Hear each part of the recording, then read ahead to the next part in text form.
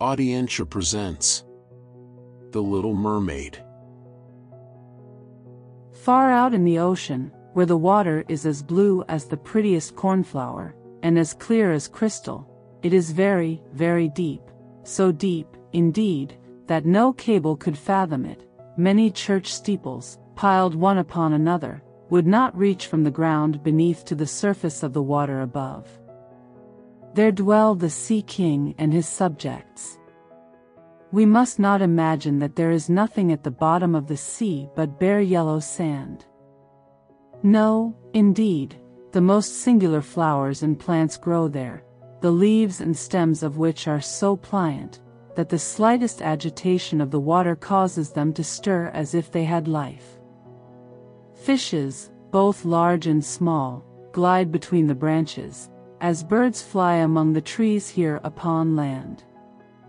In the deepest spot of all, stands the castle of the Sea King.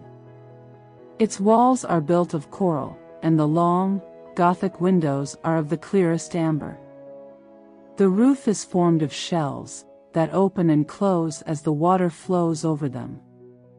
Their appearance is very beautiful, for in each lies a glittering pearl, which would be fit for the diadem of a queen. The Sea King had been a widower for many years, and his aged mother kept house for him.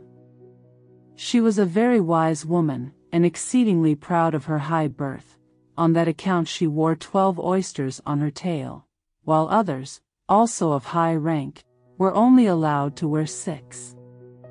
She was, however, deserving of very great praise, especially for her care of the little sea princesses, her granddaughters. They were six beautiful children, but the youngest was the prettiest of them all. Her skin was as clear and delicate as a rose leaf, and her eyes as blue as the deepest sea. But, like all the others, she had no feet, and her body ended in a fish's tail. All day long they played in the great halls of the castle, or among the living flowers that grew out of the walls. The large amber windows were open, and the fish swam in, just as the swallows fly into our houses when we open the windows, excepting that the fishes swam up to the princesses, ate out of their hands, and allowed themselves to be stroked. Outside the castle there was a beautiful garden, in which grew bright red and dark blue flowers, and blossoms like flames of fire, the fruit glittered like gold, and the leaves and stems waved to and fro continually. The earth itself was the finest sand, but blue as the flame of burning sulfur. Over everything lay a peculiar blue radiance, as if it were surrounded by the air from above, through which the blue sky shone, instead of the dark depths of the sea. In calm weather the sun could be seen, looking like a purple flower, with the light streaming from the calyx. Each of the young princesses had a little plot of ground in the garden, where she might dig and plant as she pleased. One arranged her flower bed into the form of a whale, another thought it better to make hers like the figure of a little mermaid, but that of the youngest was round like the sun, and contained flowers as red as his rays at sunset.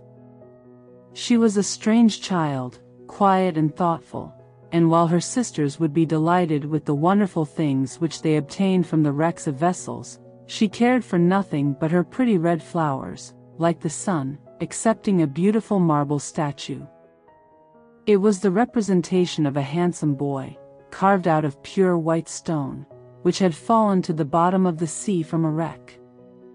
She planted by the statue a rose-colored weeping willow. It grew splendidly, and very soon hung its fresh branches over the statue, almost down to the blue sands. The shadow had a violet tint, and waved to and fro like the branches. It seemed as if the crown of the tree and the root were at play, and trying to kiss each other. Nothing gave her so much pleasure as to hear about the world above the sea. She made her old grandmother tell her all she knew of the ships and of the towns, the people and the animals. To her it seemed most wonderful and beautiful to hear that the flowers of the land should have fragrance, and not those below the sea, that the trees of the forest should be green, and that the fishes among the trees could sing so sweetly, that it was quite a pleasure to hear them. Her grandmother called the little birds fishes, or she would not have understood her, for she had never seen birds. When you have reached your fifteenth year, said the grandmother, you will have permission to rise up out of the sea, to sit on the rocks in the moonlight, while the great ships are sailing by, and then you will see both forests and towns. In the following year, one of the sisters would be 15, but as each was a year younger than the other, the youngest would have to wait five years before her turn came to rise up from the bottom of the ocean and see the earth as we do. However, each promised to tell the others what she saw on her first visit, and what she thought the most beautiful, for their grandmother could not tell them enough. There were so many things on which they wanted information. None of them longed so much for her turn to come as the youngest, she who had the longest time to wait, and who was so quiet and thoughtful. Many nights she stood by the open window, looking up through the dark blue water, and watching the fish as they splashed about with their fins and tails. She could see the moon and stars shining faintly, but through the water they looked larger than they do to our eyes. When something like a black cloud passed between her and them, she knew that it was either a whale swimming over her head, or a ship full of human beings, who never imagined that a pretty little mermaid was standing beneath them, holding out her white hands towards the keel of their ship. As soon as the eldest was fifteen, she was allowed to rise to the surface of the ocean. When she came back, she had hundreds of things to talk about, but the most beautiful, she said, was to lie in the moonlight, on a sandbank, in the quiet sea, near the coast, and to gaze on a large town nearby, where the lights were twinkling like hundreds of stars, to listen to the sounds of the music, the noise of carriages, and the voices of human beings, and then to hear the merry bells peal out from the church steeples. And because she could not go near to all those wonderful things, she, longed for them more than ever. Oh, did not the youngest sister listen eagerly to all these descriptions? And afterwards, when she stood at the open window looking up through the dark blue water, she thought of the great city, with all its bustle and noise, and even fancied she could hear the sound of the church bells, down in the depths of the sea. In another year the second sister received permission to rise to the surface of the water, and to swim about where she pleased. She rose just as the sun was setting, and this, she said, was the most beautiful sight of all. The whole sky looked like gold, while violet and rose-colored clouds, which she could not describe, floated over her, and, still more rapidly than the clouds, flew a large flock of wild swans towards the setting sun, looking like a long white veil across the sea. She also swam towards the sun, but it sunk into the waves, and the rosy tints faded from the clouds and from the sea. The third sister's turn followed. She was the boldest of them all, and she swam up a broad river that emptied itself into the sea. On the banks she saw green hills covered with beautiful vines, palaces and castles peeped out from amid the proud trees of the forest. She heard the birds singing, and the rays of the sun were so powerful that she was obliged often to dive down under the water to cool her burning face. In a narrow creek she found a whole troop of little human children, quite naked, and sporting about in the water. She wanted to play with them, but they fled in a great fright, and then a little black animal came to the water. It was a dog, but she did not know that, for she had never before seen one. This animal barked at her so terribly that she became frightened, and rushed back to the open sea. But she said she should never forget the beautiful forest, the green hills, and the pretty little children who could swim in the water, although they had not fish's tails. The fourth sister was more timid, she remained in the midst of the sea, but she said it was quite as beautiful there as nearer the land. She could see for so many miles around her, and the sky above looked like a bell of glass. She had seen the ships, but at such a great distance that they looked like seagulls. The dolphins sported in the waves, and the great whales spouted water from their nostrils till it seemed as if a hundred fountains were playing in every direction. The fifth sister's birthday occurred in the winter, so when her turn came, she saw what the others had not seen the first time they went up. The sea looked quite green, and large icebergs were floating about, each like a pearl, she said, but larger and loftier than the churches built by men. They were of the most singular shapes, and glittered like diamonds. She had seated herself upon one of the largest, and let the wind play with her long hair, and she remarked that all the ships sailed by rapidly, and steered as far away as they could from the iceberg, as if they were afraid of it. Towards evening, as the sun went down, dark clouds covered the sky, the thunder rolled and the lightning flashed, and the red light glowed on the icebergs as they rocked and tossed on the heaving sea. On all the ships the sails were reefed with fear and trembling, while she sat calmly on the floating iceberg, watching the blue lightning, as it darted its forked flashes into the sea. When first the sisters had permission to rise to the surface, they were each delighted with the new and beautiful sights they saw, but now, as grown-up girls, they could go when they pleased, and they had become indifferent about it. They wished themselves back again in the water, and after a month had passed they said it was much more beautiful down below, and pleasanter to be at home. Yet often, in the evening hours, the five sisters would twine their arms round each other, and rise to the surface, in a row. They had more beautiful voices than any human being could have, and before the approach of a storm, and when they expected a ship would be lost, they swam before the vessel, and sang sweetly of the delights to be found in the depths of the sea, and begging the sailors not to fear if they sank to the bottom. But the sailors could not understand the song, they took it for the howling of the storm. And these things were never to be beautiful for them, for if the ship sank, the men were drowned, and their dead bodies alone reached the palace of the Sea King. When the sisters rose, arm in arm, through the water in this way, their youngest sister would stand quite alone, looking after them, ready to cry, only that the mermaids have no tears, and therefore they suffer more. Oh, were I but fifteen years old, said she, I know that I shall love the world up there, and all the people who live in it. At last she reached her fifteenth year. Well, now, you are grown up, said the old dowager, her grandmother, so you must let me adorn you like your other sisters. And she placed a wreath of white lilies in her hair, and every flower leaf was half a pearl. Then the old lady ordered eight great oysters to attach themselves to the tail of the princess to show her high rank. But they hurt me so, said the little mermaid. Pride must suffer pain, replied the old lady.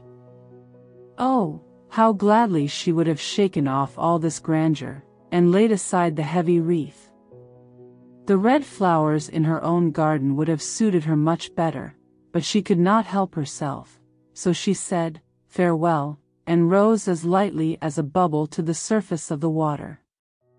The sun had just set as she raised her head above the waves, but the clouds were tinted with crimson and gold, and through the glimmering twilight beamed the evening star in all its beauty. The sea was calm, and the air mild and fresh. A large ship, with three masts, lay becalmed on the water, with only one sail set, for not a breeze stiffed, and the sailors sat idle on deck or amongst the rigging. There was music and song on board, and, as darkness came on, a hundred colored lanterns were lighted, as if the flags of all nations waved in the air. The little mermaid swam close to the cabin windows, and now and then, as the waves lifted her up, she could look in through clear glass window panes, and see a number of well-dressed people within. Among them was a young prince, the most beautiful of all, with large black eyes. He was 16 years of age, and his birthday was being kept with much rejoicing. The sailors were dancing on deck, but when the prince came out of the cabin, more than a hundred rockets rose in the air, making it as bright as day.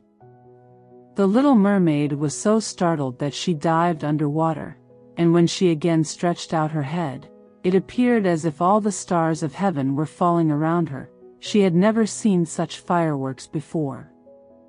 Great suns spurted fire about, splendid fireflies flew into the blue air, and everything was reflected in the clear, calm sea beneath. The ship itself was so brightly illuminated that all the people, and even the smallest rope, could be distinctly and plainly seen. And how handsome the young prince looked, as he pressed the hands of all present and smiled at them, while the music resounded through the clear night air. It was very late, yet the little mermaid could not take her eyes from the ship, or from the beautiful prince. The colored lanterns had been extinguished, no more rockets rose in the air, and the cannon had ceased firing, but the sea became restless, and a moaning, grumbling sound could be heard beneath the waves. Still the little mermaid remained by the cabin window, rocking up and down on the water, which enabled her to look in. After a while, the sails were quickly unfurled, and the noble ship continued her passage. But soon the waves rose higher, heavy clouds darkened the sky, and lightning appeared in the distance. A dreadful storm was approaching, once more the sails were reefed, and the great ship pursued her flying course over the raging sea.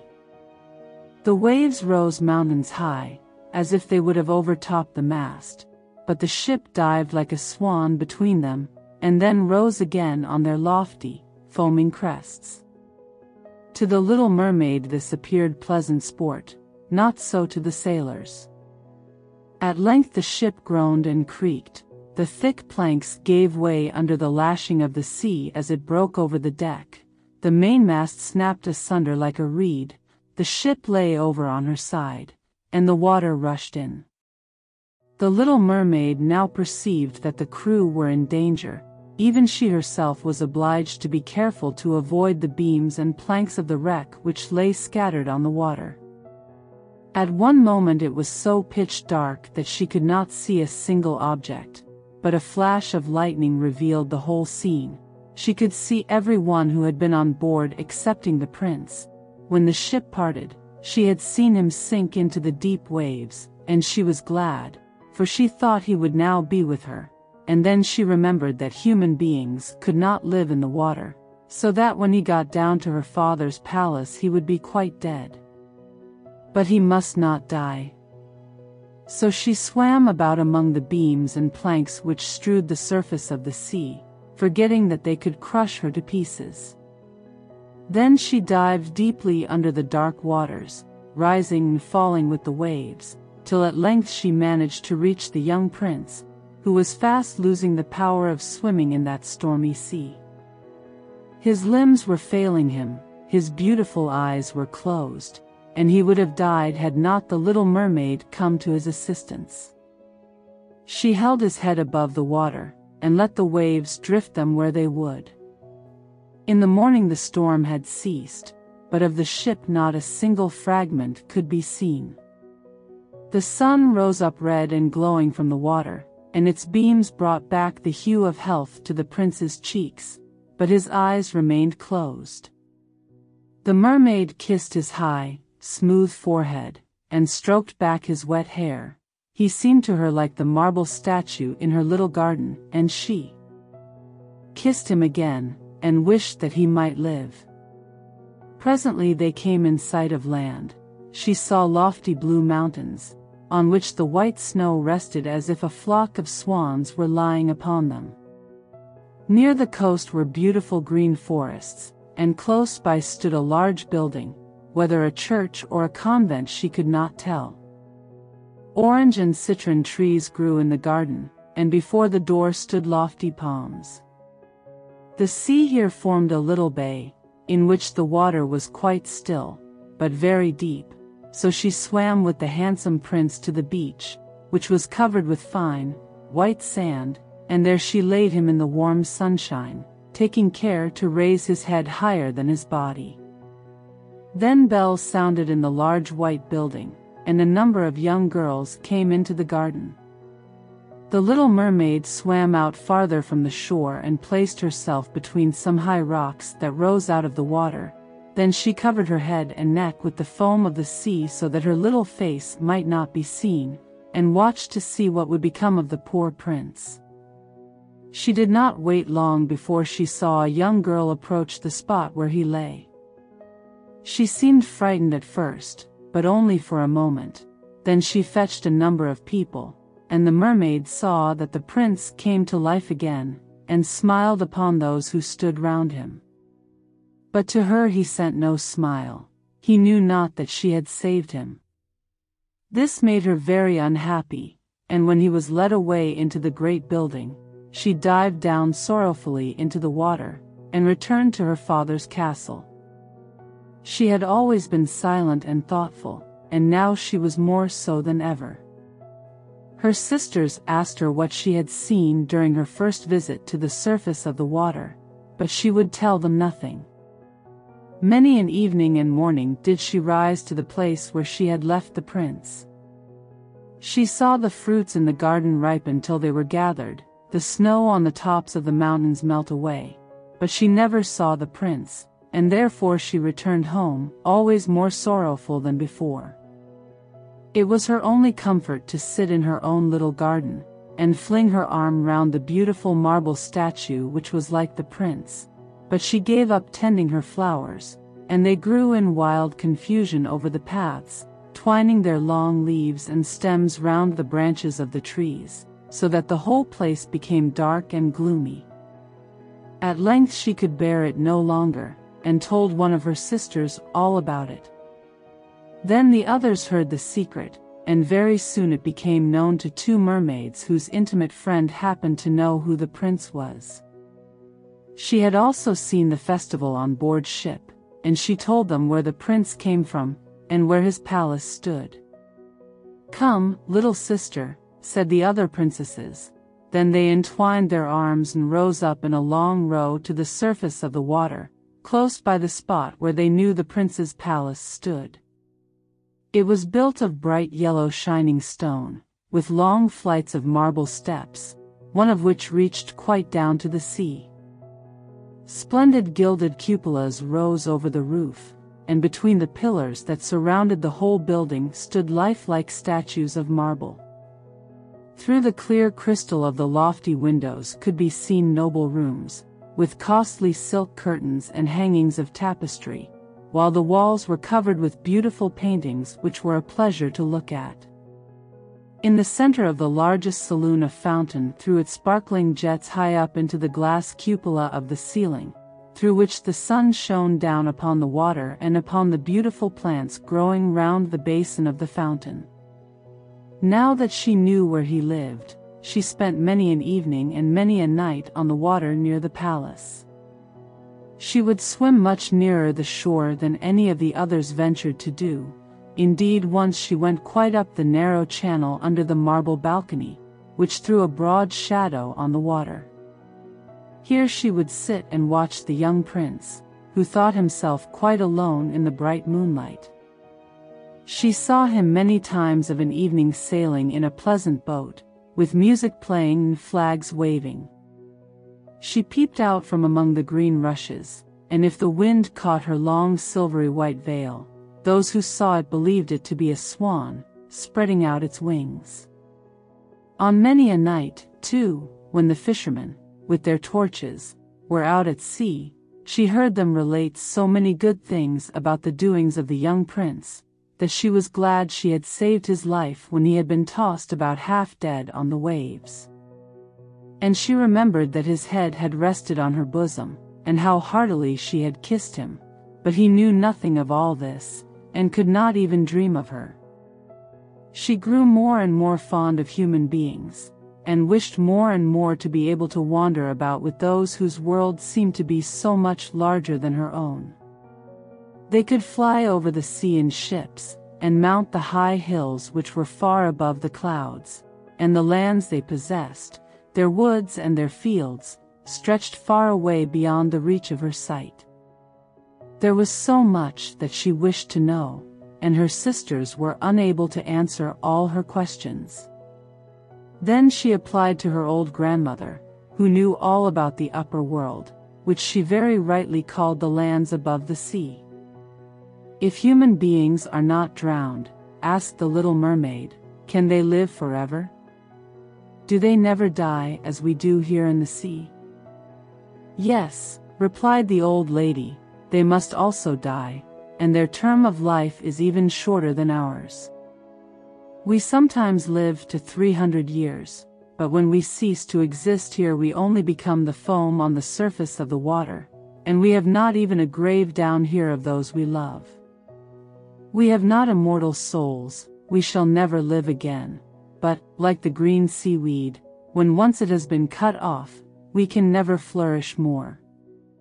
Human beings, on the contrary, have a soul which lives forever, lives after the body has been turned to dust. It rises up through the clear, pure air beyond the glittering stars. As we rise out of the water, and behold all the land of the earth, so do they rise to unknown and glorious regions which we shall never see. Why have not we an immortal soul? asked the little mermaid mournfully. I would give gladly all the hundreds of years that I have to live, to be a human being only for one day, and to have the hope of knowing the happiness of that glorious world above the stars. You must not think of that, said the old woman, we feel ourselves to be much happier and much better off than human beings. So I shall die, said the little mermaid, and as the foam of the sea I shall be driven about never again to hear the music of the waves, or to see the pretty flowers nor the red sun. Is there anything I can do to win an immortal soul? No, said the old woman, unless a man were to love you so much that you were more to him than his father or mother, and if all his thoughts and all his love were fixed upon you, and the priest placed his right hand in yours, and he promised to be true to you here and hereafter, then his soul would glide into your body and you would obtain a share in the future happiness of mankind. He would give a soul to you and retain his own as well, but this can never happen. Your fish's tail, which amongst us is considered so beautiful, is thought on earth to be quite ugly. They do not know any better, and they think it necessary to have two stout props, which they call legs, in order to be handsome. Then the little mermaid sighed, and looked sorrowfully at her fish's tail. Let us be happy, said the old lady, and dart and spring about during the 300 years that we have to live, which is really quite long enough, after that we can rest ourselves all the better. This evening we are going to have a court ball. It is one of those splendid sights which we can never see on earth. The walls and the ceiling of the large ballroom were of thick, but transparent crystal. May hundreds of colossal shells, some of a deep red, others of a grass green, stood on each side in rows, with blue fire in them, which lighted up the whole saloon, and shone through the walls, so that the sea was also illuminated. Innumerable fishes, great and small, swam past the crystal walls. On some of them the scales glowed with a purple brilliancy, and on others they shone like silver and gold. Through the halls flowed a broad stream, and in it danced the mermen and the mermaids to the music of their own sweet singing. No one on earth has such a lovely voice as theirs. The little mermaid sang more sweetly than them all. The whole court applauded her with hands and tails, and for a moment her heart felt quite gay, for she knew she had the loveliest voice of any on earth or in the sea. But she soon thought again of the world above her, for she could not forget the charming prince, nor her sorrow that she had not an immortal soul like his. Therefore she crept away silently out of her father's palace, and while everything within was gladness and song, she sat in her own little garden sorrowful and alone. Then she heard the bugle sounding through the water, and thought, He is certainly sailing above, he on whom my wishes depend, and in whose hands I should like to place the happiness of my life. I will venture all for him, and to win an immortal soul, while my sisters are dancing in my father's palace, I will go to the sea witch, of whom I have always been so much afraid, but she can give me counsel and help. And then the little mermaid went out from her garden, and took the road to the foaming whirlpools, behind which the sorceress lived. She had never been that way before, neither flowers nor grass grew there, nothing but bare, gray, sandy ground stretched out to the whirlpool, where the water, like foaming mill wheels, whirled round everything that it seized, and cast it into the fathomless deep. Through the midst of these crushing whirlpools the little mermaid was obliged to pass, to reach the dominions of the sea witch, and also for a long distance the only road lay right across a quantity of warm, bubbling mire, called by the witch her turf moor. Beyond this stood her house, in the center of a strange forest, in which all the trees and flowers were polypi, half animals and half plants. They looked like serpents with a hundred heads growing out of the ground. The branches were long slimy arms, with fingers like flexible worms, moving limb after limb from the root to the top. All that could be reached in the sea they seized upon, and held fast, so that it never escaped from their clutches. The little mermaid was so alarmed at what she saw, that she stood still, and her heart beat with fear, and she was very nearly turning back. But she thought of the prince, and of the human soul for which she longed, and her courage returned. She fastened her long flowing hair round her head, so that the polypi might not seize hold of it. She laid her hands together across her bosom, and then she darted forward as a fish shoots through the water, between the supple arms and fingers of the ugly polypi, which were stretched out on each side of her. She saw that each held in its grasp something it had seized with its numerous little arms, as if they were iron bands. The white skeletons of human beings who had perished at sea, and had sunk down into the deep waters, skeletons of land animals, oars, rudders, and chests of ships were lying tightly grasped by their clinging arms, even a little mermaid, whom they had caught and strangled, and this seemed the most shocking of all to the little princess. She now came to a space of marshy ground in the wood, where large, fat water snakes were rolling in the mire, and showing their ugly, drab-colored bodies. In the midst of this spot stood a house, built with the bones of shipwrecked human beings. There sat the sea witch, allowing a toad to eat from her mouth, just as people sometimes feed a canary with a piece of sugar. She called the ugly water snakes her little chickens, and allowed them to crawl all over her bosom. I know what you want, said the sea witch, it is very stupid of you, but you shall have your way, and it will bring you to sorrow, my pretty princess. You want to get rid of your fish's tail, and to have two supports instead of it, like human beings on earth so that the young prince may fall in love with you, and that you may have an immortal soul. And then the witch laughed so loud and disgustingly, that the toad and the snakes fell to the ground, and lay there wriggling about. You are but just in time, said the witch, for after sunrise tomorrow I should not be able to help you till the end of another year. I will prepare a draught for you, with which you must swim to land tomorrow before sunrise, and sit down on the shore and drink it. Your tail will then disappear, and shrink up into what mankind calls legs, and you will feel great pain, as if a sword were passing through you. But all who see you will say that you are the prettiest little human being they ever saw. You will still have the same floating gracefulness of movement, and no dancer will ever tread so lightly, but at every step you take it will feel as if you were treading upon sharp knives, and that the blood must flow. If you will bear all this, I will help you. Yes, I will, said the little princess in a trembling voice, as she thought of the prince and the immortal soul. But think again, said the witch, for when once your shape has become like a human being, you can no more be a mermaid. You will never return through the water to your sisters, or to your father's palace again, and if you do not win the love of the prince, so that he is willing to forget his father and mother for your sake, and to love you with his whole soul, and allow the priest to join your hands that you may be man and wife, then you will never have an immortal soul. The first morning after he marries another your heart will break, and you will become foam on the crest of the waves.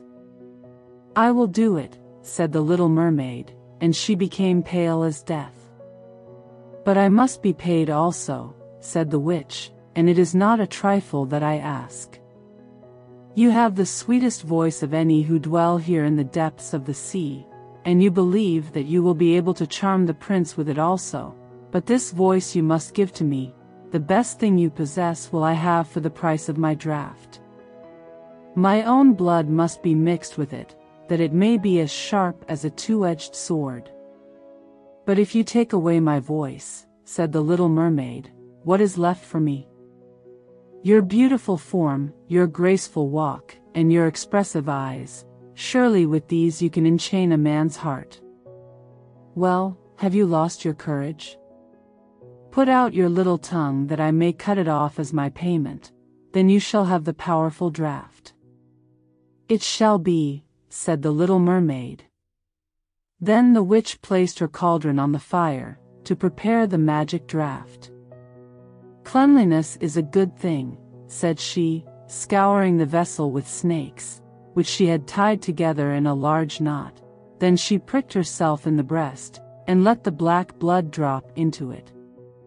The steam that rose formed itself into such horrible shapes that no one could look at them without fear. Every moment the witch threw something else into the vessel, and when it began to boil, the sound was like the weeping of a crocodile. When at last the magic draught was ready, it looked like the clearest water. There it is for you, said the witch. Then she cut off the mermaid's tongue, so that she became dumb, and would never again speak or sing. If the polypi should seize hold of you as you return through the wood, said the witch, throw over them a few drops of the potion, and their fingers will be torn into a thousand pieces. But the little mermaid had no occasion to do this, for the polypi sprang back in terror when they caught sight of the glittering draught, which shone in her hand like a twinkling star. So she passed quickly through the wood and the marsh, and between the rushing whirlpools. She saw that in her father's palace the torches in the ballroom were extinguished, and all within. Asleep, but she did not venture to go into them, for now she was dumb and going to leave them forever, she felt as if her heart would break. She stole into the garden, took a flower from the flower beds of each of her sisters, kissed her hand a thousand times towards the palace, and then rose up through the dark blue waters. The sun had not risen when she came in sight of the prince's palace, and approached the beautiful marble steps, but the moon shone clear and bright. Then the little mermaid drank the magic draught, and it seemed as if a two-edged sword went through her delicate body. She fell into a swoon, and lay like one dead. When the sun arose and shone over the sea, she recovered, and felt a sharp pain. But just before her stood the handsome young prince. He fixed his coal-black eyes upon her so earnestly that she cast down her own, and then became aware that her fish's tail was gone, and that she had as pretty a pair of white legs and tiny feet as any little maiden could have. But she had no clothes, so she wrapped herself in her long, thick hair. The prince asked her who she was, and where she came from, and she looked at him mildly and sorrowfully with her deep blue eyes, but she could not speak. Every step she took was as the witch had said it would be, she felt as if treading upon the points of needles or sharp knives, but she bore it willingly, and stepped as lightly by the prince's side as a soap bubble, so that he and all who saw her wondered at her graceful swaying movements. She was very soon arrayed in costly robes of silk and muslin, and was the most beautiful creature in the palace. But she was dumb, and could neither speak nor sing. Beautiful female slaves, dressed in silk and gold, stepped forward and sang before the prince and his royal parents. One sang better than all the others, and the prince clapped his hands and smiled at her. This was great sorrow to the little mermaid. She knew how much more sweetly she herself could sing once, and she thought, oh if he could only know that. I have given away my voice forever, to be with him. The slaves next performed some pretty fairy-like dances, to the sound of beautiful music. Then the little mermaid raised her lovely white arms, stood on the tips of her toes, and glided over the floor, and danced as no one yet had been able to dance. At each moment her beauty became more revealed, and her expressive eyes appealed more directly to the heart than the songs of the slaves. Everyone was enchanted, especially the prince, who called her his little foundling, and she danced again quite readily, to please him, though each time her foot touched the floor it seemed as if she trod on sharp knives. The prince said she should remain with him always, and she received permission to sleep at his door, on a velvet cushion. He had a page's dress made for her, that she might accompany him on horseback. They rode together through the sweet-scented woods, where the green boughs touched their shoulders, and the little birds sang among the fresh leaves. She climbed with the prince to the tops of high mountains, and although her tender feet bled so that even her steps were marked, she only laughed, and followed him till they could see the clouds beneath them looking like a flock of birds traveling to distant lands. While at the prince's palace, and when all the household were asleep, she would go and sit on the broad marble steps, for it eased her burning feet to bathe them in the cold sea water, and then she thought of all those below in the deep. Once during the night her sisters came up arm in arm, singing sorrowfully, as they floated on the water. She beckoned to them, and then they recognized her, and told her how she had grieved them. After that, they came to the same place every night, and once she saw in the distance her old grandmother, who had not been to the surface of the sea for many years, and the old sea king, her father, with his crown on his head. They stretched out their hands towards her, but they did not venture so near the land as her sisters did. As the days passed, she loved the prince more fondly, and he loved her as he would love a little child, but it never came into his head to make her his wife, yet, unless he married her, she could not receive an immortal soul, and, on the morning after his marriage with another, she would dissolve into the foam of the sea. Do you not love me the best of them all? The eyes of the little mermaid seemed to say, when he took her in his arms, and kissed her fair forehead. Yes, you are dear to me, said the prince, for you have the best heart, and you are the most devoted to me, you are like a young maiden whom I once saw, but whom I shall never meet again. I was in a ship that was wrecked, and the waves cast me ashore near a holy temple, where several young maidens performed the service. The youngest of them found me on the shore, and saved my life. I saw her but twice, and she is the only one in the world whom I could love, but you are like her, and you have almost driven her image out of my mind. She belongs to the holy temple, and my good fortune has sent you to me instead of her, and we will never part. Ah, he knows not that it was I who saved his life, thought the little mermaid. I carried him over the sea to the wood where the temple stands. I sat beneath the foam, and watched till the human beings came to help him. I saw the pretty maiden that he loves better than he loves me, and the mermaid sighed deeply, but she could not shed tears. He says the maiden belongs to the holy temple, therefore she will never return to the world. They will meet no more, while I am by his side, and see him every day. I will take care of him, and love him, and give up my life for his sake. Very soon it was said that the prince must marry, and that the beautiful daughter of a neighboring king would be his wife, for a fine ship was being fitted out. Although the prince gave out that he merely intended to pay a visit to the king, it was generally supposed that he really went to see his daughter. A great company were to go with him. The little mermaid smiled, and shook her head. She knew the prince's thoughts better than any of the others. I must travel, he had said to her. I must see this beautiful princess. My parents desire it, but they will not oblige me to bring her home as my bride. I cannot love her, she is not like the beautiful maiden in the temple, whom you resemble. If I were forced to choose a bride, would rather choose you, my dumb foundling, with those expressive eyes. And then he kissed her rosy mouth, played with her long waving hair, and laid his head on her heart, while she dreamed of human happiness and an immortal soul. You are not afraid of the sea, my dumb child, said he, as they stood on the deck of the noble ship which was to carry them to the country of the neighboring king.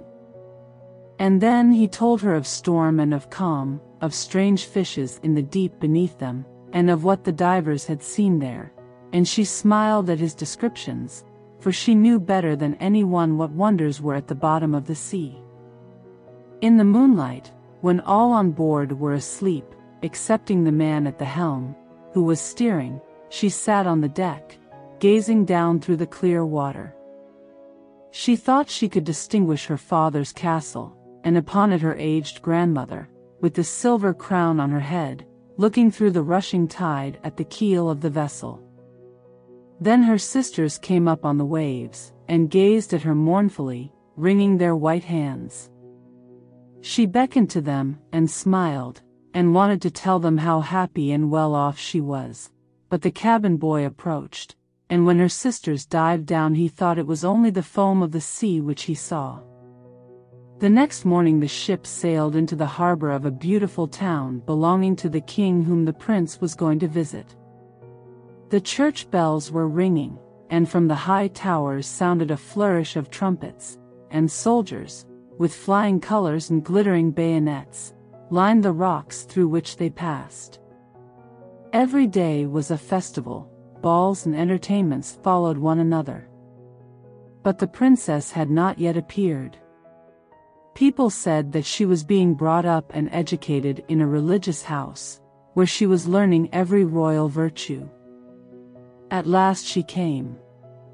Then the little mermaid, who was very anxious to see whether she was really beautiful, was obliged to acknowledge that she had never seen a more perfect vision of beauty.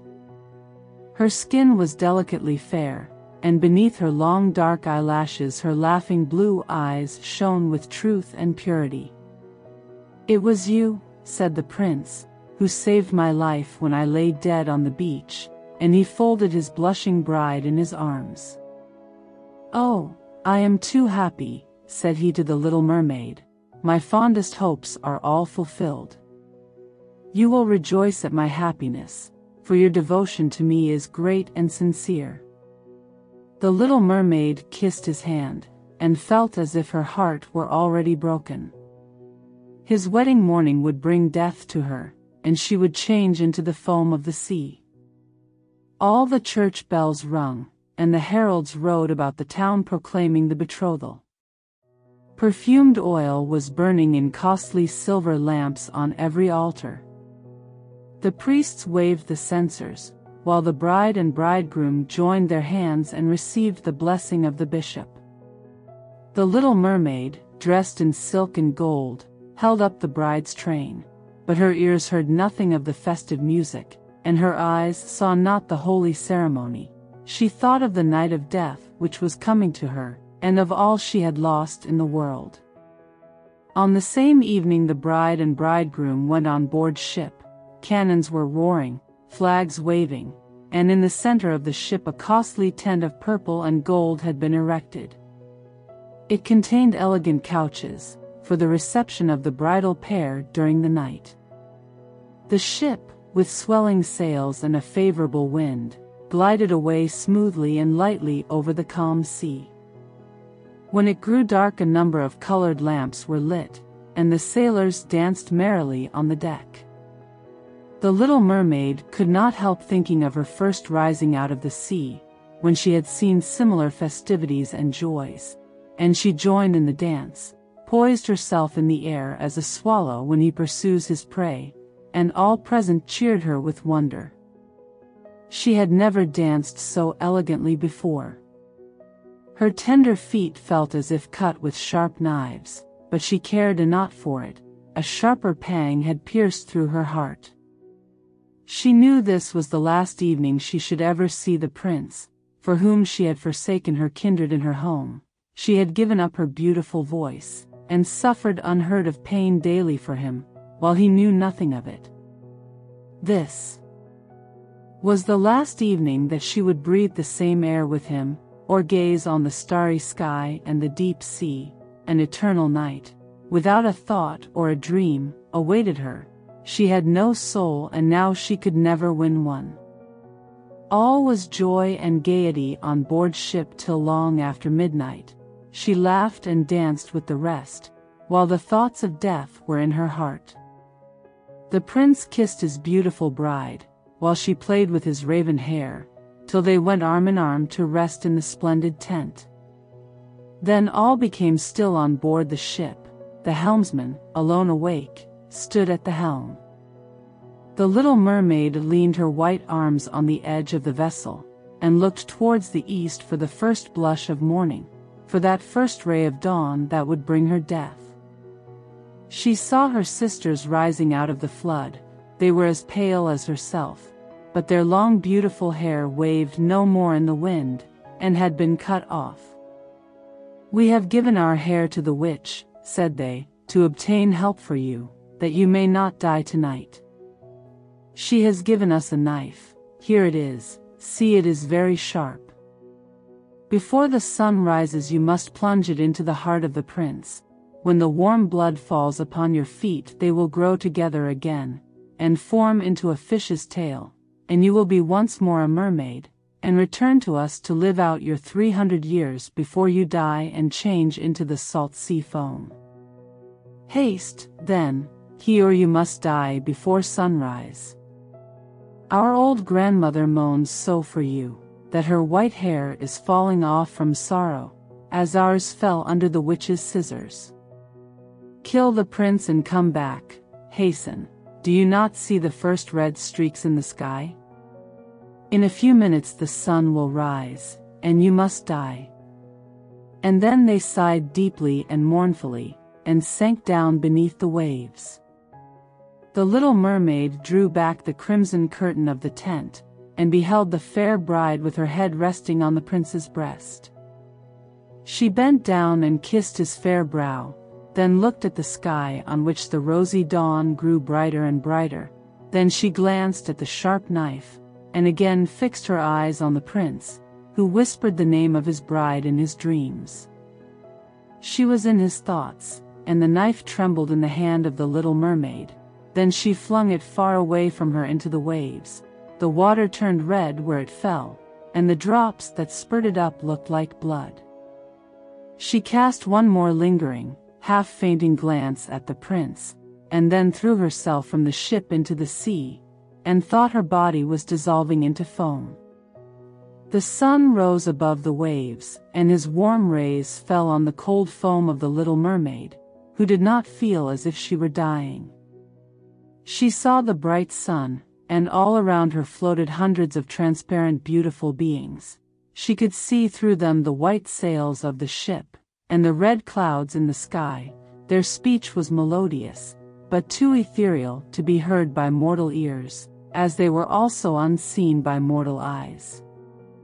The little mermaid perceived that she had a body like theirs, and that she continued to rise higher and higher out of the foam. Where am I? asked she, and her voice sounded ethereal, as the voice of those who were with her. No earthly music could imitate it. Among the daughters of the air, answered one of them. A mermaid has not an immortal soul, nor can she obtain one unless she wins the love of a human being. On the power of another hangs her eternal destiny. But the daughters of the air, although they do not possess an immortal soul, can, by their good deeds, procure one for themselves. We fly to warm countries, and cool the sultry air that destroys mankind with the pestilence. We carry the perfume of the flowers to spread health and restoration. After we have striven for 300 years to all the good in our power, we receive an immortal soul and take part in the happiness of mankind. You, poor little mermaid, have tried with your whole heart to do as we are doing. You have suffered and endured and raised yourself to the spirit world by your good deeds. And now, by striving for 300 years in the same way, you may obtain an immortal soul. The little mermaid lifted her glorified eyes towards the sun, and felt them, for the first time, filling with tears. On the ship, in which she had left the prince, there were life and noise.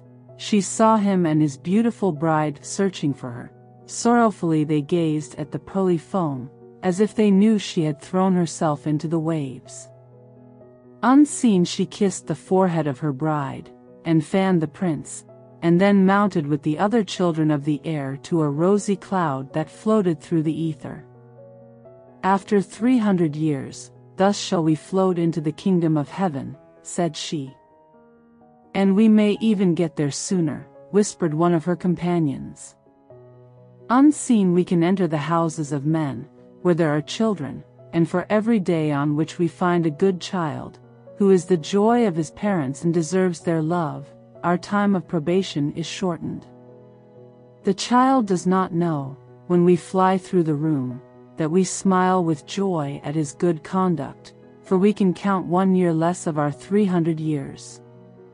But when we see a naughty or a wicked child, we shed tears of sorrow, and for every tear a day is added to our time of trial. At last she reached her fifteenth year. Well, now, you are grown up, said the old dowager, her grandmother, so you must let me adorn you like your other sisters, and she placed a wreath of white lilies in her hair, and every flower leaf was half a pearl.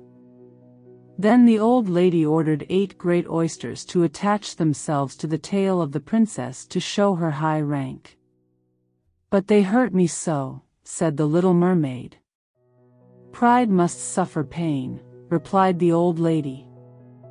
Oh, how gladly she would have shaken off all this grandeur, and laid aside the heavy wreath. The red flowers in her own garden would have suited her much better, but she could not help herself, so she said, Farewell, and rose as lightly as a bubble to the surface of the water. The sun had just set as she raised her head above the waves, but the clouds were tinted with crimson and gold, and through the glimmering twilight beamed the evening star in all its beauty.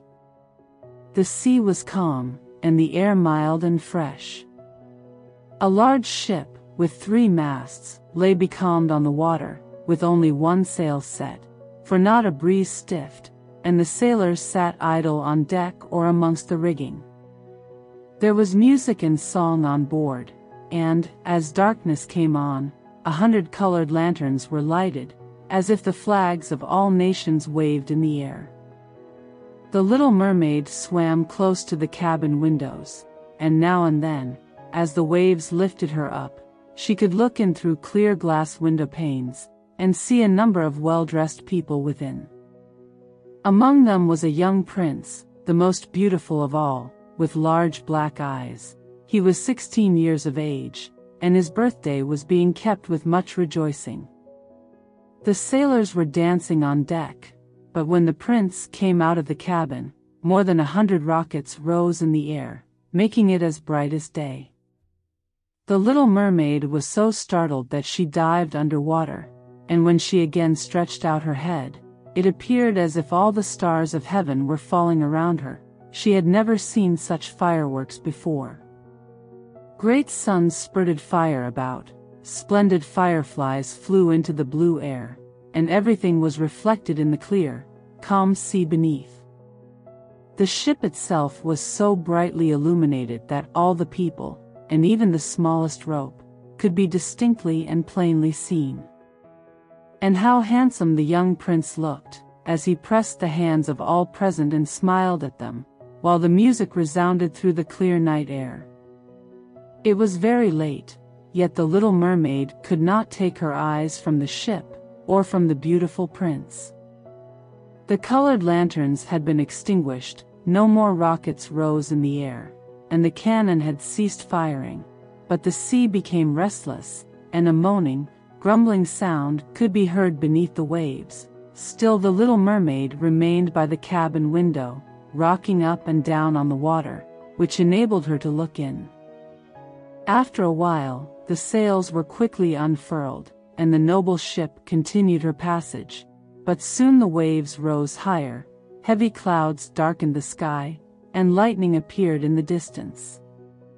A dreadful storm was approaching, once more the sails were reefed, and the great ship pursued her flying course over the raging sea. The waves rose mountains high, as if they would have overtopped the mast, but the ship dived like a swan between them, and then rose again on their lofty, foaming crests.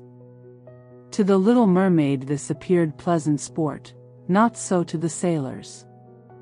At length the ship groaned and creaked, the thick planks gave way under the lashing of the sea as it broke over the deck, the mainmast snapped asunder like a reed, the ship lay over on her side, and the water rushed in. The little mermaid now perceived that the crew were in danger, even she herself was obliged to be careful to avoid the beams and planks of the wreck which lay scattered on the water. At one moment it was so pitch dark that she could not see a single object, but a flash of lightning revealed the whole scene. She could see every one who had been on board excepting the prince. When the ship parted, she had seen him sink into the deep waves, and she was glad, for she thought he would now be with her and then she remembered that human beings could not live in the water, so that when he got down to her father's palace he would be quite dead. But he must not die. So she swam about among the beams and planks which strewed the surface of the sea, forgetting that they could crush her to pieces.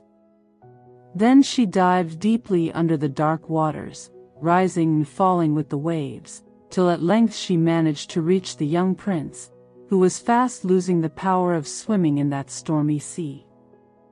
His limbs were failing him, his beautiful eyes were closed, and he would have died had not the little mermaid come to his assistance. She held his head above the water, and let the waves drift them where they would. In the morning the storm had ceased, but of the ship not a single fragment could be seen. The sun rose up red and glowing from the water, and its beams brought back the hue of health to the prince's cheeks, but his eyes remained closed. The mermaid kissed his high, smooth forehead, and stroked back his wet hair. He seemed to her like the marble statue in her little garden, and she kissed him again, and wished that he might live. Presently they came in sight of land. She saw lofty blue mountains, on which the white snow rested as if a flock of swans were lying upon them. Near the coast were beautiful green forests, and close by stood a large building, whether a church or a convent she could not tell. Orange and citron trees grew in the garden, and before the door stood lofty palms. The sea here formed a little bay, in which the water was quite still, but very deep, so she swam with the handsome prince to the beach, which was covered with fine, white sand, and there she laid him in the warm sunshine, taking care to raise his head higher than his body.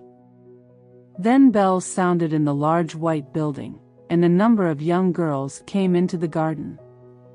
The little mermaid swam out farther from the shore and placed herself between some high rocks that rose out of the water, then she covered her head and neck with the foam of the sea so that her little face might not be seen, and watched to see what would become of the poor prince. She did not wait long before she saw a young girl approach the spot where he lay. She seemed frightened at first, but only for a moment. Then she fetched a number of people, and the mermaid saw that the prince came to life again, and smiled upon those who stood round him. But to her he sent no smile, he knew not that she had saved him. This made her very unhappy, and when he was led away into the great building, she dived down sorrowfully into the water, and returned to her father's castle. She had always been silent and thoughtful, and now she was more so than ever. Her sisters asked her what she had seen during her first visit to the surface of the water, but she would tell them nothing. Many an evening and morning did she rise to the place where she had left the prince. She saw the fruits in the garden ripen till they were gathered, the snow on the tops of the mountains melt away, but she never saw the prince, and therefore she returned home, always more sorrowful than before. It was her only comfort to sit in her own little garden, and fling her arm round the beautiful marble statue which was like the prince. But she gave up tending her flowers, and they grew in wild confusion over the paths, twining their long leaves and stems round the branches of the trees, so that the whole place became dark and gloomy.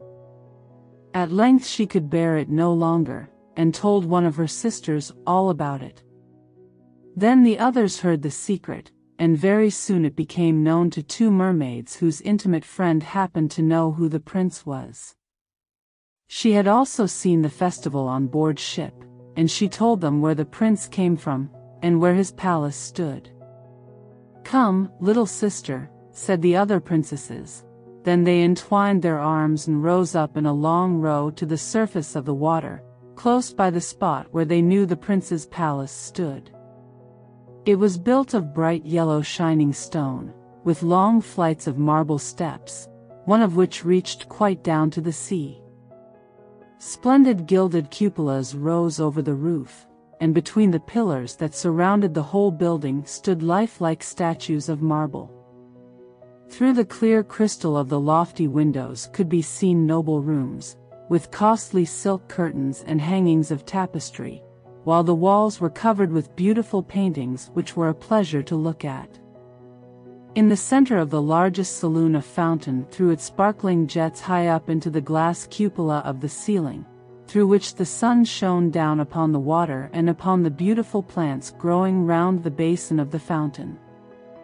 Now that she knew where he lived, she spent many an evening and many a night on the water near the palace. She would swim much nearer the shore than any of the others ventured to do. Indeed, once she went quite up the narrow channel under the marble balcony, which threw a broad shadow on the water. Here she would sit and watch the young prince, who thought himself quite alone in the bright moonlight. She saw him many times of an evening sailing in a pleasant boat, with music playing and flags waving. She peeped out from among the green rushes, and if the wind caught her long silvery white veil, those who saw it believed it to be a swan, spreading out its wings. On many a night, too, when the fishermen, with their torches, were out at sea, she heard them relate so many good things about the doings of the young prince, that she was glad she had saved his life when he had been tossed about half dead on the waves. And she remembered that his head had rested on her bosom, and how heartily she had kissed him, but he knew nothing of all this, and could not even dream of her. She grew more and more fond of human beings, and wished more and more to be able to wander about with those whose world seemed to be so much larger than her own. They could fly over the sea in ships, and mount the high hills which were far above the clouds, and the lands they possessed, their woods and their fields, stretched far away beyond the reach of her sight. There was so much that she wished to know, and her sisters were unable to answer all her questions. Then she applied to her old grandmother, who knew all about the upper world, which she very rightly called the lands above the sea. If human beings are not drowned, asked the little mermaid, can they live forever? Do they never die as we do here in the sea? Yes, replied the old lady, they must also die, and their term of life is even shorter than ours.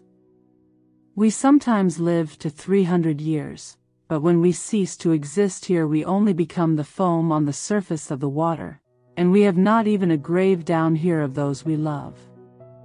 We have not immortal souls, we shall never live again, but, like the green seaweed, when once it has been cut off, we can never flourish more. Human beings, on the contrary, have a soul which lives forever, lives after the body has been turned to dust. It rises up through the clear, pure air beyond. The glittering stars. As we rise out of the water, and behold all the land of the earth, so do they rise to unknown and glorious regions which we shall never see. Why have not we an immortal soul? asked the little mermaid mournfully. I would give gladly all the hundreds of years that I have to live, to be a human being only for one day, and to have the hope of knowing the happiness of that glorious world above the stars. You must not think of that, said the old woman, we feel ourselves to be much happier and much better off than human beings. So I shall die, said the little mermaid, and as the foam of the sea I shall be driven about never again to hear the music of the waves, or to see the pretty flowers nor the red sun. Is there anything I can do to win an immortal soul?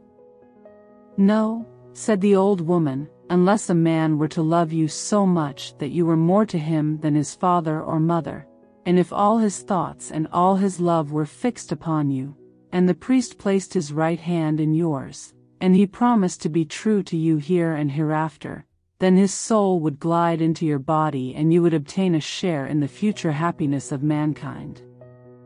He would give a soul to you and retain his own as well, but this can never happen. Your fish's tail, which amongst us is considered so beautiful, is thought on earth to be quite ugly. They do not know any better, and they think it necessary to have two stout props, which they call legs, in order to be handsome. Then the little mermaid sighed, and looked sorrowfully at her fish's tail. Let us be happy, said the old lady, and dart and spring about during the three hundred years that we have to live, which is really quite long enough, after that we can rest ourselves all the better. This evening we are going to have a court ball. It is one of those splendid sights which we can never see on earth. The walls and the ceiling of the large ballroom were of thick, but transparent crystal. May hundreds of colossal shells, some of a deep red, others of a grass green, stood on each side in rows, with blue fire in them, which lighted up the whole saloon, and shone through the walls, so that the sea was also illuminated. Innumerable fishes, great and small, swam past the crystal walls. On some of them the scales glowed with a purple brilliancy, and on others they shone like silver and gold.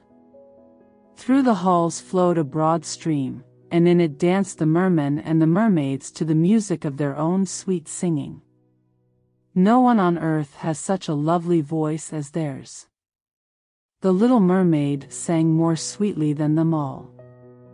The whole court applauded her with hands and tails, and for a moment her heart felt quite gay, for she knew she had the loveliest voice of any on earth or in the sea. But she soon thought again of the world above her, for she could not forget the charming prince, nor her sorrow that she had not an immortal soul like his. Therefore she crept away silently out of her father's palace, and while everything within was gladness and song, she sat in her own little garden sorrowful and alone. Then she heard the bugle sounding through the water, and thought, He is certainly sailing above, he on whom my wishes depend, and in whose hands I should like to place the happiness of my life. I will venture all for him, and to win an immortal soul, while my sisters are dancing in my father's palace, I will go to the sea witch, of whom I have always been so much afraid, but she can give me counsel and help. And then the little mermaid went out from her garden, and took the road to the foaming whirlpools, behind which the sorceress lived. She had never been that way before, neither flowers nor grass grew there, nothing but bare, gray, sandy ground stretched out to the whirlpool, where the water, like foaming mill wheels, whirled round everything that it seized, and cast it into the fathomless deep. Through the midst of these crushing whirlpools the little mermaid was obliged to pass, to reach the dominions of the sea witch, and also for a long distance the only road lay right across a quantity of warm, bubbling mire, called by the witch her turf moor. Beyond this stood her house, in the center of a strange forest, in which all the trees and flowers were polypi, half animals and half plants. They looked like serpents with a hundred heads growing out of the ground. The branches were long slimy arms, with fingers like flexible worms, moving limb after limb from the root to the top. All that could be reached in the sea they seized upon, and held fast, so that it never escaped from their clutches. The little mermaid was so alarmed at what she saw, that she stood still, and her heart beat with fear, and she was very nearly turning back. But she thought of the prince, and of the human soul for which she longed, and her courage returned. She fastened her long flowing hair round her head, so that the polypi might not seize hold of it. She laid her hands together across her bosom, and then she darted forward as a fish shoots through the water, between the supple arms and fingers of the ugly polypi, which were stretched out on each side of her. She saw that each held in its grasp something it had seized with its numerous little arms, as if they were iron bands. The white skeletons of human beings who had perished at sea, and had sunk down into the deep waters, skeletons of land animals, oars, rudders, and chests of ships were lying tightly grasped by their clinging arms, even a little mermaid, whom they had caught and strangled, and this seemed the most shocking of all to the little princess. She now came to a space of marshy ground in the wood, where large, Fat water snakes were rolling in the mire, and showing their ugly, drab-colored bodies. In the midst of this spot stood a house, built with the bones of shipwrecked human beings. There sat the sea witch, allowing a toad to eat from her mouth, just as people sometimes feed a canary with a piece of sugar. She called the ugly water snakes her little chickens, and allowed them to crawl all over her bosom. I know what you want, said the sea witch. It is very stupid of you, but you shall have your way, and it will bring you to sorrow, my pretty princess. You want to get rid of your fish's tail, and to have two supports instead of it, like human beings on earth, so that the young prince may fall in love with you, and that you may have an immortal soul. And then the witch laughed so loud and disgustingly, that the toad and the snakes fell to the ground, and lay there wriggling about. You are but just in time, said the witch, for after sunrise tomorrow I should not be able to help you till the end of another year.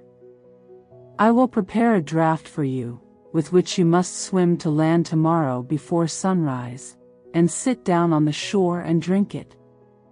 Your tail will then disappear, and shrink up into what mankind calls legs, and you will feel great pain, as if a sword were passing through you.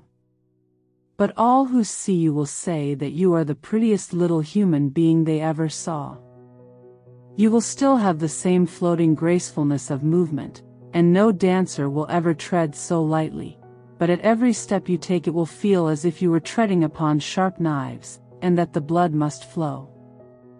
If you will bear all this, I will help you. Yes, I will, said the little princess in a trembling voice, as she thought of the prince and the immortal soul.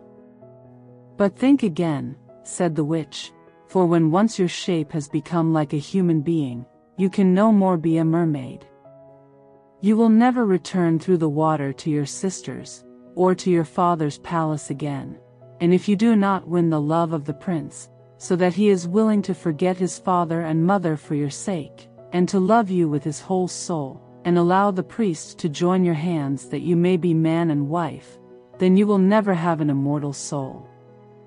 The first morning after he marries another your heart will break, and you will become foam on the crest of the waves. I will do it, said the little mermaid, and she became pale as death. But I must be paid also, said the witch, and it is not a trifle that I ask. You have the sweetest voice of any who dwell here in the depths of the sea, and you believe that you will be able to charm the prince with it also, but this voice you must give to me, the best thing you possess will I have for the price of my draft. My own blood must be mixed with it, that it may be as sharp as a two-edged sword. But if you take away my voice, said the little mermaid, what is left for me? Your beautiful form, your graceful walk, and your expressive eyes, surely with these you can enchain a man's heart. Well, have you lost your courage? Put out your little tongue that I may cut it off as my payment, then you shall have the powerful draft. It shall be, said the little mermaid. Then the witch placed her cauldron on the fire, to prepare the magic draught. Cleanliness is a good thing, said she, scouring the vessel with snakes, which she had tied together in a large knot. Then she pricked herself in the breast, and let the black blood drop into it. The steam that rose formed itself into such horrible shapes that no one could look at them without fear. Every moment the witch threw something else into the vessel, and when it began to boil, the sound was like the weeping of a crocodile. When at last the magic draught was ready, it looked like the clearest water. There it is for you, said the witch. Then she cut off the mermaid's tongue, so that she became dumb, and would never again speak or sing. If the polypi should seize hold of you as you return through the wood, said the witch, throw over them a few drops of the potion, and their fingers will be torn into a thousand pieces. But the little mermaid had no occasion to do this, for the polypi sprang back in terror when they caught sight of the glittering draught, which shone in her hand like a twinkling star. So she passed quickly through the wood and the marsh, and between the rushing whirlpools.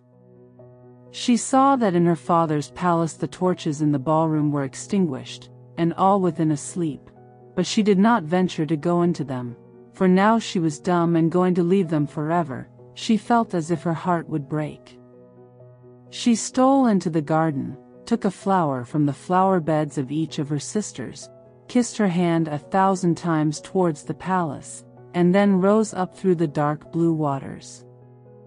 The sun had not risen when she came in sight of the prince's palace, and approached the beautiful marble steps, but the moon shone clear and bright. Then the little mermaid drank the magic draught, and it seemed as if a two-edged sword went. Through her delicate body, she fell into a swoon, and lay like one dead. When the sun arose and shone over the sea, she recovered, and felt a sharp pain but just before her stood the handsome young prince. He fixed his coal-black eyes upon her so earnestly that she cast down her own, and then became aware that her fish's tail was gone, and that she had as pretty a pair of white legs and tiny feet as any little maiden could have.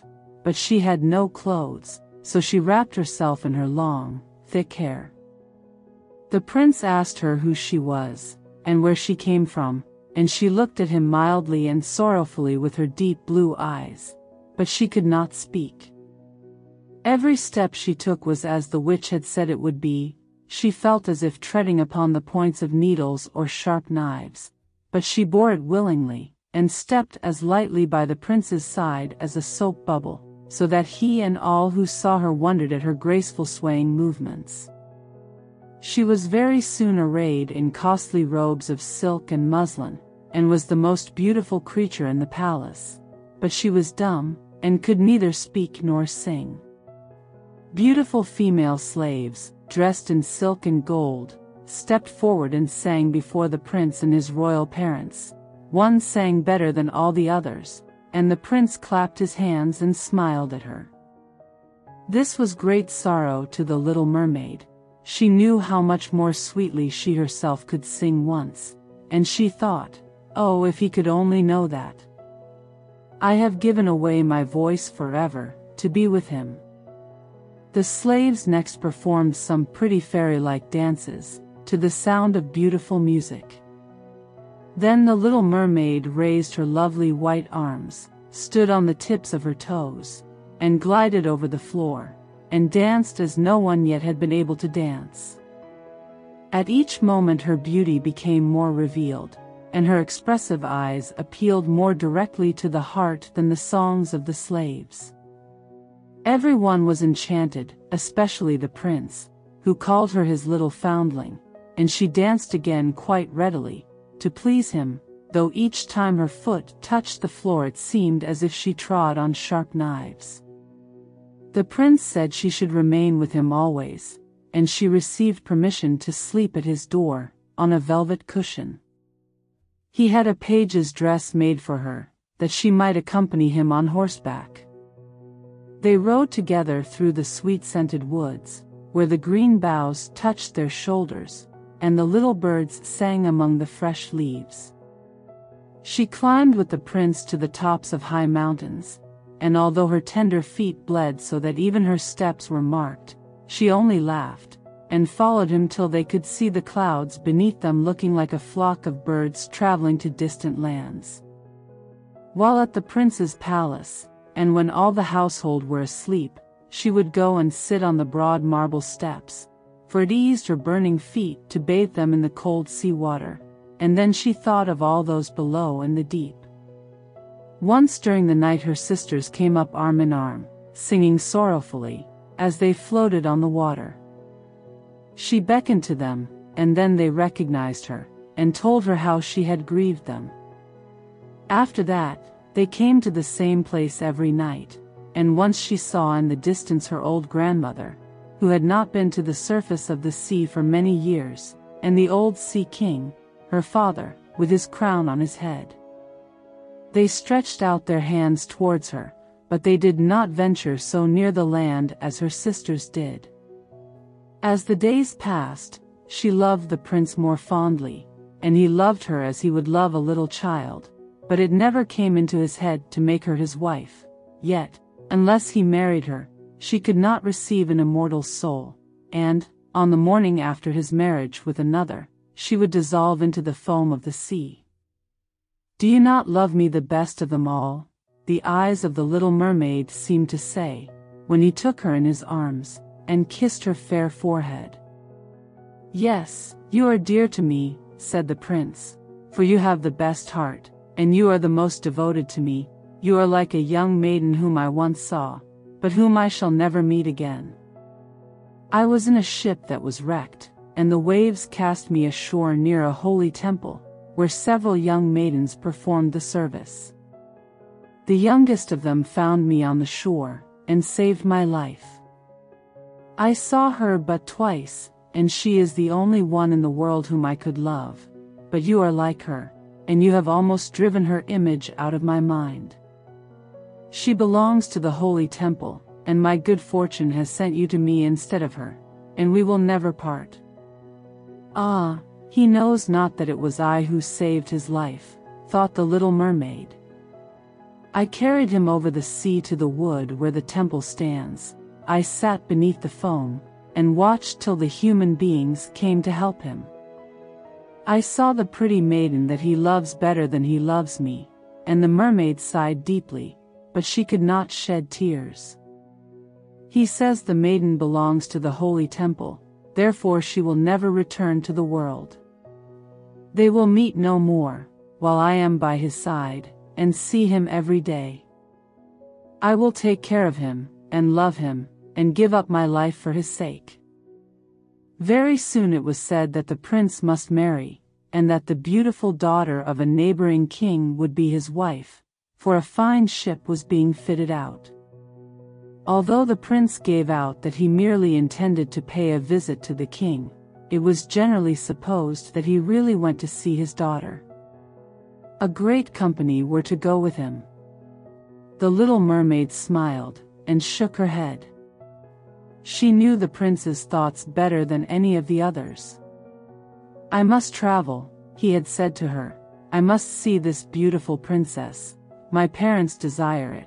But they will not oblige me to bring her home as my bride. I cannot love her. She is not like the beautiful maiden in the temple, whom you resemble.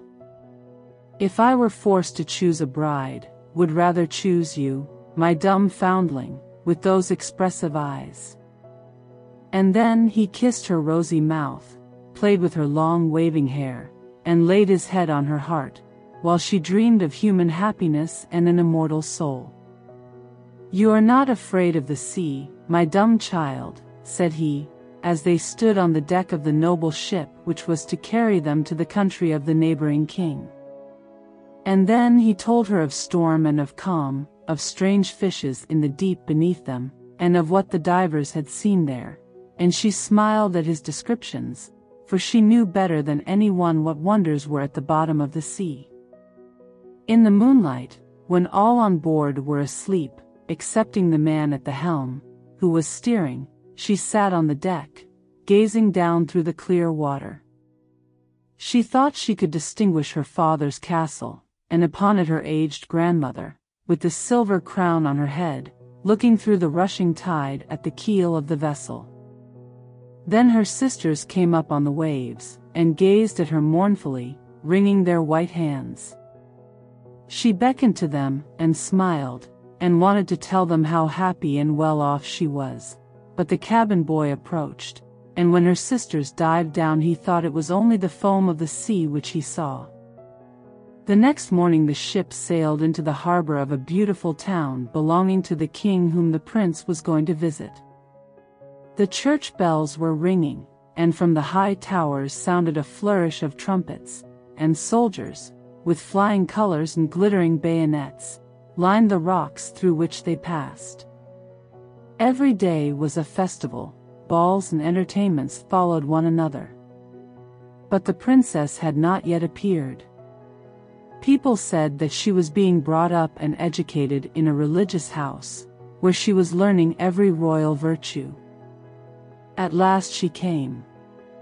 Then the little mermaid, who was very anxious to see whether she was really beautiful, was obliged to acknowledge that she had never seen a more perfect vision of beauty. Her skin was delicately fair, and beneath her long dark eyelashes her laughing blue eyes shone with truth and purity. It was you, said the prince, who saved my life when I lay dead on the beach, and he folded his blushing bride in his arms.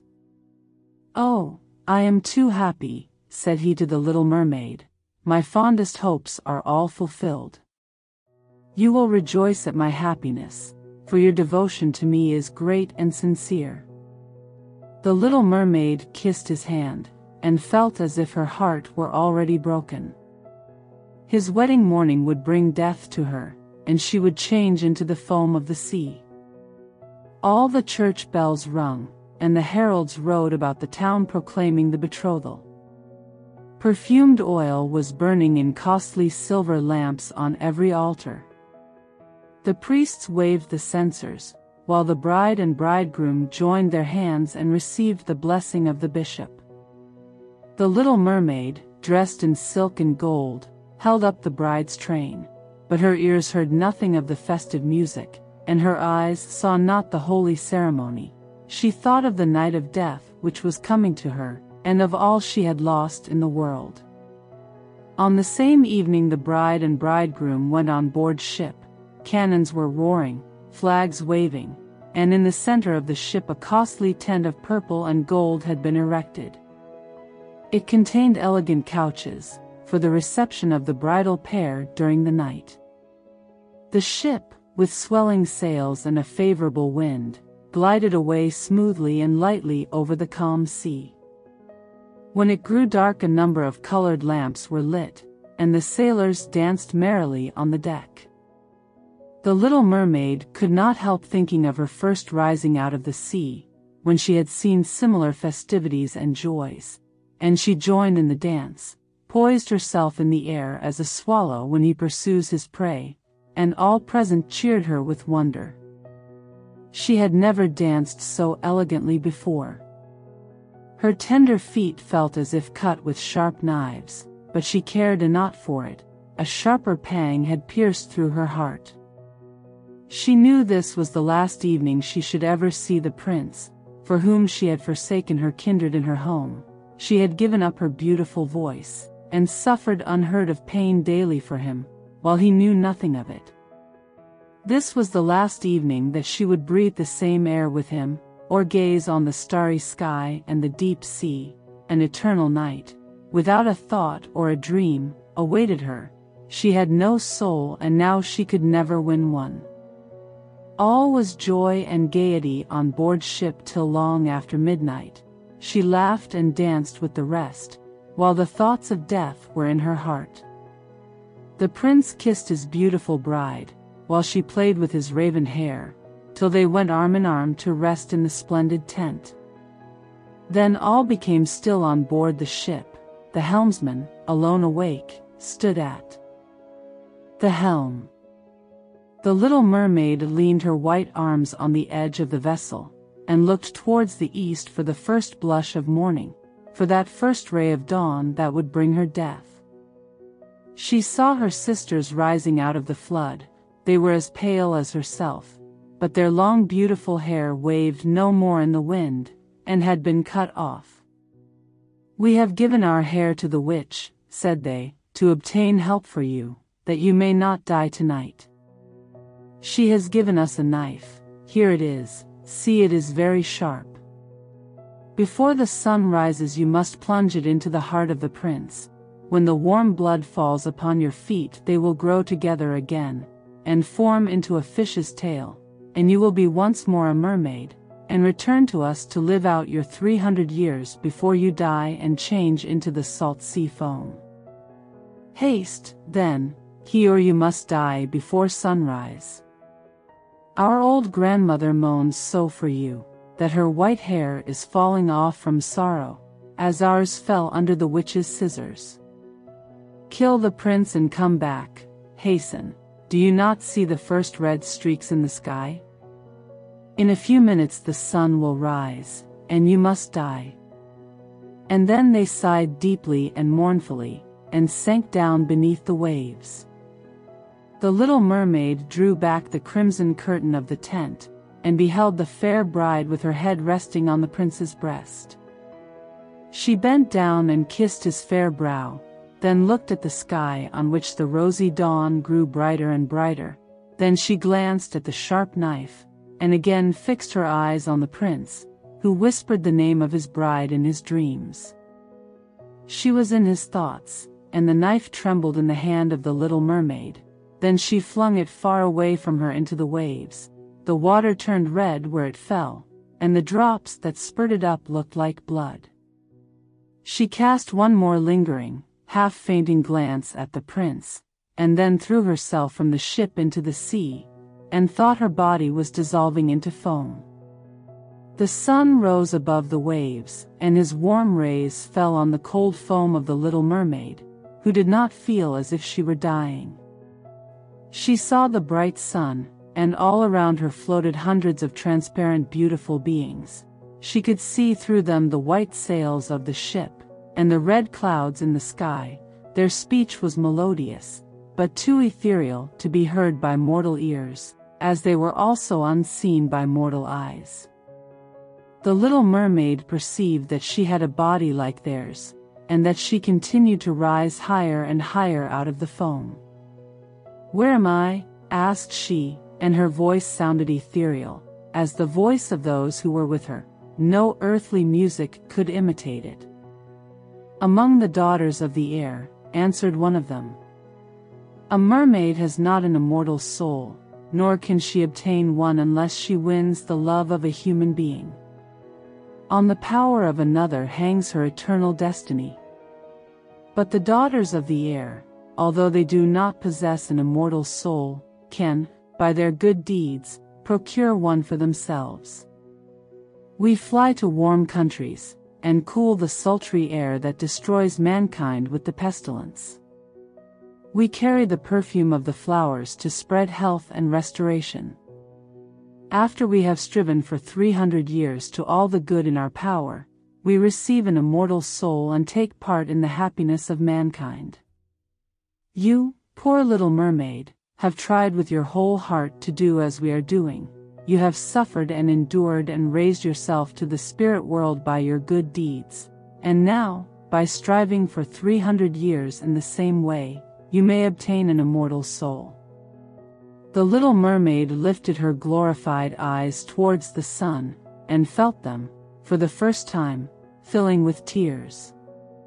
On the ship, in which she had left the prince, there were life and noise. She saw him and his beautiful bride searching for her.